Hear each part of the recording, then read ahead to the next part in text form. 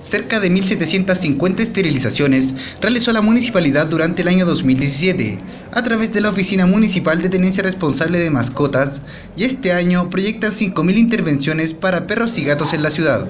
Ahora se nos premió dándonos 5.000 estabilizaciones que las vamos a desarrollar durante el 2018 en distintas juntas de vecinos y lo que buscamos este año es que eh, se van a, tener como grandes centros de estabilización en las juntas. Por ejemplo, eh, vamos a tener ocho juntas de vecinos grandes que van a albergar a los miembros de cinco o seis juntas de vecinos más pequeñas y la idea es que cada gran junta de vecinos pueda albergar al cabo de seis días a lo menos unas 600 estabilizaciones.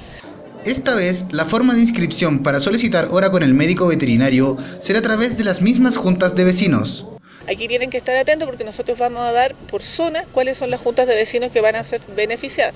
La idea es que la gente no crea que se acabaron después de esta, de esta primera o segunda tanda de esterilizaciones las cirugías para siempre en Calama. La idea es que vamos a seguir postulando.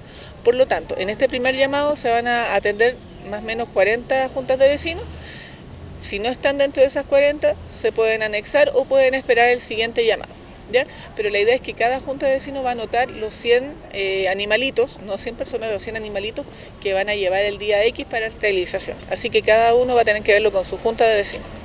Además, otro de los objetivos de la Oficina de Tenencia Responsable de Mascotas para el 2018 es la adquisición de un vehículo que realizará la función de clínica móvil, para lo cual el municipio ya hizo la postulación correspondiente para contar con este servicio.